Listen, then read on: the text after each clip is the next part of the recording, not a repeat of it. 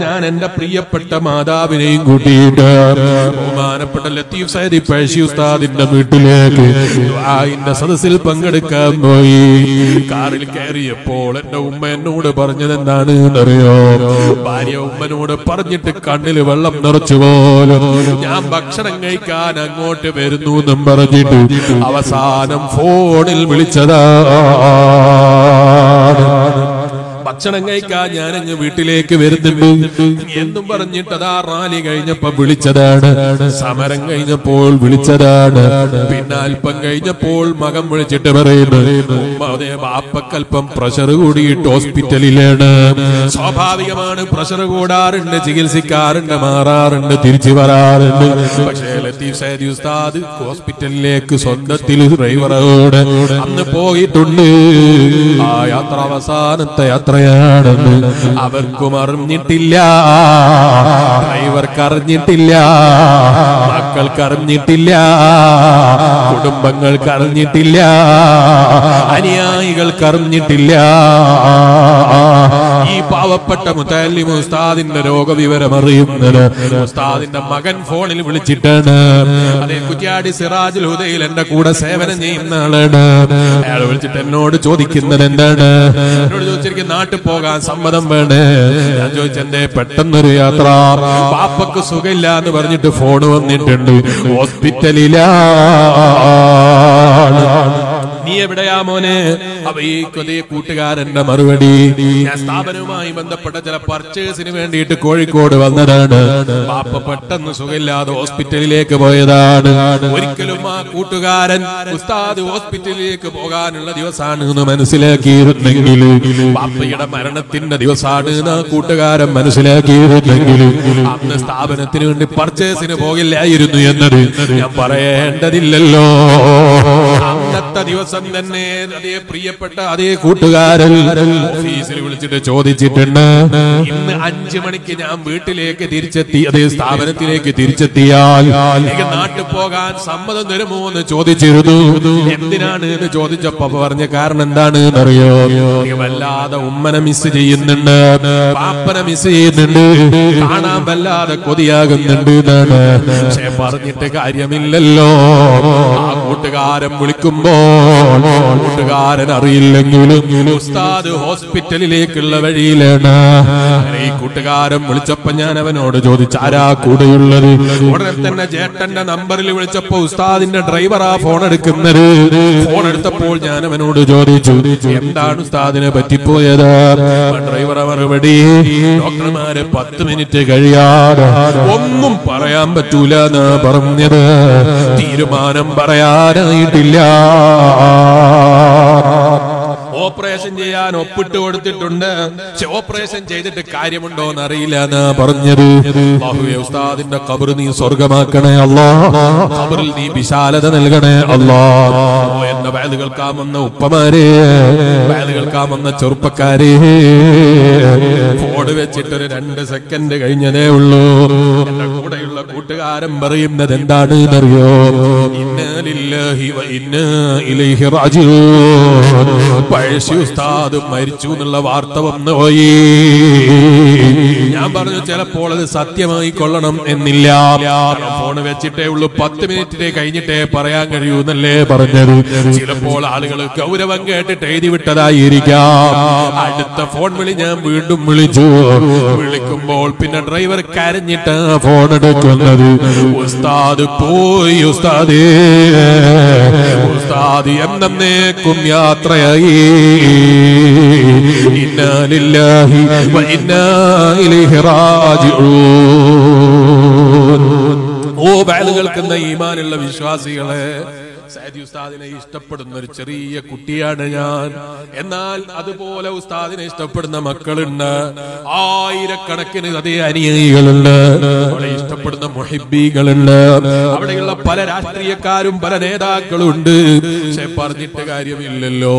ഉസ്താദിന്റെ മരണത്തിന്റെ സമയമെത്തിയപ്പോ ഒരു മനുഷ്യരും ഒരു സെക്കൻഡ് പോലും നീട്ടിവെക്കാൻ കഴിഞ്ഞില്ല. ഉസ്താദിനെ മറവ് ചെയ്ത് കുറ്റ്യാട് സിറാജുലുദയിലേക്ക് മടങ്ങിയെത്തിയിട്ട് ഞാൻ കാറിൽ നിന്നിറങ്ങിയിട്ട് അങ്ങ് കയറി പോകുന്ന കാറ് കണ്ടപ്പോ എന്റെ മനസ്സിലേക്ക് ഓടി വന്നത് ഞാൻ ഉസ്താദിന്റെ വീട്ടിന്റെ അപ്പുറത്ത് നിന്നാണ് എന്റെ വണ്ടിയിൽ കയറിയത്. തിരിഞ്ഞു നോക്കിയപ്പോൾ എന്റെ കൂട്ടുകാര് പറഞ്ഞു ഉസ്താദിന്റെ കാറാണ് പിറകിലുള്ള കാറ്. ഉസ്താദിന്റെ കാർ അവിടെ ബാക്കിയാ. ഉസ്താദ് യാത്ര പോയി.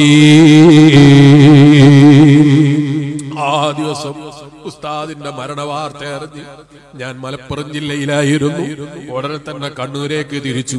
അവിടെ എത്തിയപ്പോ ഉസ്താദിന്റെ കഥയെ വീട്ടിന്റെ കോലായിൽ ഉസ്താദ് ധരിക്കുന്ന ചെരുപ്പ ചെരുപ്പ് ബാക്കിയ ഉസ്താദ് കൂടെ ഇല്ല. ഞാൻ കണ്ടതാ പറഞ്ഞത്. ആ വീട്ടിൽ എത്ര വസ്ത്രം ബാക്കിയുണ്ട്? ഉസ്താദിന്റെ ഉടമസ്ഥതയിലുള്ള വീടും പറമ്പും ബാക്കിയാ. ഉസ്താദ് ബാക്കിയില്ല. ഇത് വെറും ഒരു പഴശ്ശി ഉസ്താദിന് പറഞ്ഞതാണോ? അല്ല. ഏതെങ്കിലും ഇതുപോലെ ജാബിറിന് പറഞ്ഞതാണോ? അല്ല. നമ്മുടെ നാട്ടിലുള്ള മുഴുവൻ ജനങ്ങൾക്കും ഈ പാവപ്പെട്ട മുത്തല്ലിവിനും നിങ്ങൾക്കും എല്ലാവർക്കും ഒരുങ്ങാൻ വേണ്ടി കാത്തിരിക്കുന്നൊരു ദിനമില്ലേ? മുസ്ലിമേ നെഞ്ഞത്ത് കൈവച്ച് ചിന്തിച്ചോ? എന്ത് സമ്പാദിച്ചു വെച്ചു? എന്തുണ്ടാക്കി വെച്ചു? പോകുന്ന സമയത്ത് ആ കബറിലേക്ക് പോകുമ്പോൾ മൂന്ന് കഷ്ണം തുണിയല്ലാതെ ആരും തരൂല. പക്ഷേ നീ വാങ്ങി വെച്ചത് വീട്ടിലെ അലമാര തുറന്നു നോക്കിയാൽ എത്ര വസ്ത്രങ്ങളാ. പെങ്ങളെ അലമാര തുറന്നു നോക്കിയപ്പോ ഏതൊക്കെ കളറിലുള്ള വസ്ത്രങ്ങളാ? കല്യാണത്തിന്റെ ദിവസം കൂട്ടുകാരുടെ കുപ്പായത്തിന്റെ കളറും എന്റെ കുപ്പായത്തിന്റെ കളറും ഒരുപോലെ ആകണമെന്ന് വാശി പിടിച്ചിട്ട് പൈസ ഇല്ലാത്ത ഭർത്താവിനെ കൊണ്ട് ബാപ്പനെ കൊണ്ട് അതുപോലെ പാങ്ങളമാരെ കൊണ്ട് കണ്ണിൽ വെള്ളം നിറപ്പിച്ചിട്ട് കുപ്പായം നിറയെ അലമാരയിൽ നിറച്ചു വെച്ചിട്ടുണ്ട്. അല്ലേ? ആ കല്യാണത്തിന് മഞ്ഞ കല്യാണമാകണം പച്ച കല്യാണമാകണം ചുവപ്പ് കല്യാണമാകണം നീല കല്യാണമാകണം. ഒരു വട്ടം ധരിക്കാൻ പതിനായിരത്തിന്റെ വസ്ത്രം വേണം ലക്ഷങ്ങളെ വസ്ത്രം വേണം. പുതിയുണ്ണിയായി ഇറങ്ങുമ്പം ധരിക്കുന്ന വസ്ത്രം ജീവിതത്തിൽ ഒരു വട്ടം ധരിക്കാനാണ് ആറ് മണിക്കൂർ ധരിക്കാനാണ്. അത് ലക്ഷങ്ങൾ വിലയുള്ളതാകണം. ഇങ്ങനെയൊക്കെ ചിന്തിച്ച് വസ്ത്രധാരണ നടത്തിയ നീ ഇങ്ങനെയൊക്കെ വസ്ത്രധാരണ ആലോചിച്ച നമ്മൾ ആ യാത്രയ്ക്ക് പോകുമ്പോ ഒരു മഞ്ഞക്കുപ്പായവുമില്ലല്ലോ ഒരു നീലക്കുപ്പായമില്ലല്ലോ ഒന്നുമില്ലല്ലോ. വയലുകൾക്കും കേൾക്കുന്ന പെങ്ങൾ ആ സമയത്ത് ഭർത്താവിന്റെ പൊരുത്തത്തോടെ മരിച്ച പെണ്ണാണോ ദഹലത്തിൽ ജന്ന. അവൾ സ്വർഗത്തിലാടുന്ന മുഹമ്മദ് റസൂലുള്ളാഹി. സല്ലല്ലാഹു അലൈഹി വസല്ലം. ജനങ്ങളൊക്കെ നല്ലത് പറയുന്ന നാവുള്ള സമ്പാദിച്ച മനുഷ്യനാണോ? എല്ലാരും മരിച്ചിട്ട് അയാൾ മരിച്ചു പോയല്ലോ റബ്ബേ. അയാൾ അങ്ങനെ നല്ലവനായിരുന്നു. ഇങ്ങനെ നല്ല ആളായിരുന്നു. എന്ന് പറയുന്ന നാവ് സമ്പാദിച്ചു വെച്ചവനാണോ? അത് ആഹ്റത്തിലേക്ക് വലിയ മുതൽക്കൂട്ടായി പോയി. അതേ സ്ഥാനത്ത് ആഹ്റത്തിലേക്ക് ചൊല്ലുമ്പോ നിന്റെ കുപ്പായത്തിന്റെ എണ്ണം ചോദിച്ചിട്ട് നിന്റെ കബറിൽ സ്വർഗം തരൂല്ല നിന്റെ കഥയെ കല്യാണത്തിന് നീ ഒപ്പിച്ച ഒപ്പിക്കലുകളില്ലേ? ഓ ചെറുപ്പക്കാരാ ഭൗതിക ലോകത്തിന്റെ സുഖലോലപതയിൽ ഏർപ്പെട്ടപ്പോ നിന്റെ തലമുടി വെട്ടുമ്പോ നിനക്ക് ബേക്കിലൊന്ന് ചെത്താതെ സമാധാനം ഇല്ല അല്ലേ? ശരിയാണിക്ക് ചുവട്ടിലല്ലാതെ നിന്റെ പേൻസി ഇല്ല അല്ലേ? നീ ധരിക്കുന്ന വസ്ത്രധാരണ ഔറത്തെ വെളിവാകുന്ന നിസ്കരിക്കുന്ന സമയത്തുള്ള വസ്ത്രധാരണ ആകരുത് എന്ന് പറഞ്ഞപ്പോ അതിനെക്കുറിച്ച് ചിന്തയില്ല അല്ലേ? ധരിച്ചിരുന്ന ജീൻസിന്റെ പേന്റ് എവിടെ കുട്ടി? നീ ധരിച്ചിരുന്ന ടീഷർട്ടുകൾ എവിടെ മോനെ? നീ ധരിച്ചിരുന്ന അത്തരം പ്രൗഢിയുള്ള വസ്ത്രധാരണകൾ എവിടെ? നീ ഒരുപാട് കൊതിച്ചു കൊതിച്ച് സമ്പാദിച്ച ഐഫോണുകളില്ലേ? അതുപോലെയുള്ള വിലപിടിപ്പുള്ള നോട്ടുകളില്ലേ? ഭൗതിക ലോകത്തിന്റെ സുഖലോലപകതകളില്ലേ എവിടെ കൂട്ടുകാരാ? എല്ലാം കൈവഴിച്ചിട്ട് എന്തിലധികം സുന്നത്താണെന്ന് പോലും നീ പഠിച്ചിട്ട് കയ്യിൽ ധരിച്ചിരുന്ന മോതിരമില്ലേ. അത് സുന്നത്താണല്ലോ.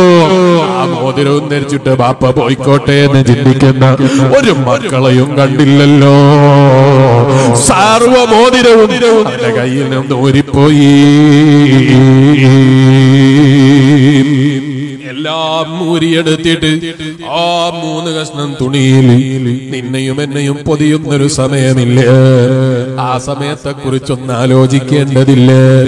ആ യാത്രയെ കുറിച്ചൊന്ന് ആലോചിക്കേണ്ടതില്ല. നല്ല തേച്ചു മിനുക്കിയ കുപ്പായമല്ലാതെ പറ്റാറില്ല. അല്ലേ ഭാര്യ എങ്ങാനും തേച്ചത് നന്നായിട്ടില്ലെങ്കിലും ഭാര്യന്റെ മുഖത്ത് നോക്കി ശകാരിക്കലാണ്. അല്ലേ ആ മയ്യത്ത് തുണി തേച്ചു തരാനാളില്ലല്ലോ ആ മയ്യത്ത് കഫൻ ചെയ്യാനുള്ള തുണി അതൊന്ന് നന്നാക്കി തരാനാളില്ലല്ലോ ആ മൂന്ന് കഷ്ണം പൊതിയിൽ പൊതിഞ്ഞിട്ട് എന്നെയും നിന്നെയും കബറിലേക്ക് കൊണ്ടുപോകും രംഗം ഇത് പറയുമ്പോ ചിലപ്പോ എനിക്ക് തോന്നുകയാണ് അത് ഇപ്പോഴൊന്നും ഉണ്ടാകൂല. നല്ല ആരോഗ്യമാണല്ലോ. അല്ലെ നമുക്ക് തോന്നുകയാണ് ഇപ്പൊ എന്തായാലും ആകൂല നാളെയാണല്ലോ. പറയുന്ന മുത്തല്ലിമിന് അധികാരമുണ്ടോ? കേൾക്കുന്നവരിൽ അധികാരമുള്ളവരുണ്ടോ? ഞാൻ ഇത്ര കാലം ജീവിക്കുമെന്ന് ഗ്യാരണ്ടി പറയാൻ ഞാൻ ഇത്ര കാലം ഉണ്ടാകുമെന്ന് ഉറപ്പ് പറയാൻ ധൈര്യമുള്ളവനാരാ? തന്റെ ഇടമുള്ളവനാരാ? ഓ വയത് കേൾക്കുന്ന ഈമാനുള്ള വിശ്വാസികളെ. യാത്രയ്ക്ക് എന്നെയും നിന്നെയും റബ്ബ് വിളിക്കുന്നതിന്റെ മുമ്പൊന്ന് ഒരുങ്ങേണ്ടതില്ലേ? ആ ഒരുക്കത്തെ കുറിച്ചൊന്ന് ചിന്തിച്ചു നോക്ക് നീ. ഇഖ്ലാസോടെ നിസ്കരിക്കാൻ എന്റെ കൂട്ടുകാരൻ ഒരു ദിവസം പള്ളിയിലേക്ക് വിളിച്ചിട്ട് അലഹമില്ല ഞാൻ അന്നത്തെ ദിവസം നല്ല ആത്മാർത്ഥതയോടെ എന്റെ കൂട്ടുകാരോടൊപ്പം ഞാൻ തഹജ്ജുദ് നിസ്കരിച്ചു. എന്റെ കൂട്ടുകാരോടൊപ്പം ഞാൻ സ്വബഹി നിസ്കരിച്ചു. ഓ ചെറുപ്പക്കാരാ ഇപ്പം മരിച്ചു പോയാ പറയാ നിന്റെ കയ്യിലുണ്ടോ?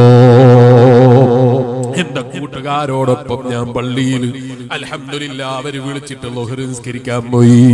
ഞാൻ ലോഹരി നിസ്കരിച്ചത് എനിക്ക് സമ്പാദ്യമാണല്ലോ. അവൻ വിളിച്ചിട്ട് ഞാൻ അസർ നിസ്കരിക്കാൻ പോയി.